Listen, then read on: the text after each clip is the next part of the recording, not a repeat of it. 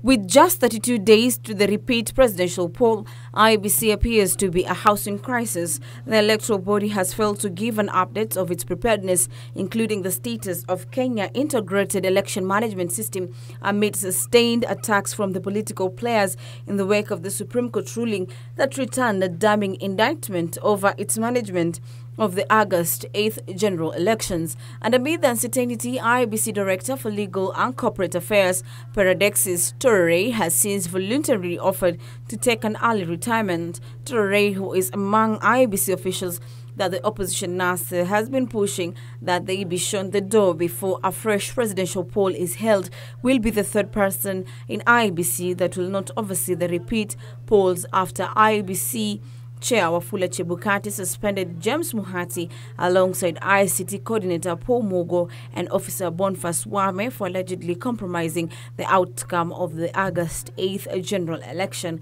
NASA's wish list, now known as the irreducible minimum, also includes a demand for the sacking of IEBC Chief Executive Officer Ezra Chiloba.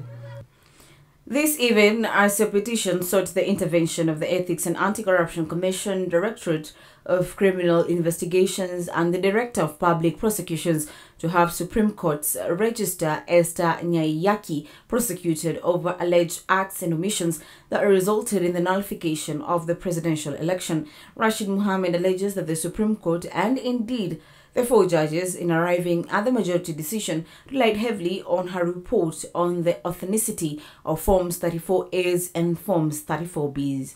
Linus Moshigadi for Channel 1 News.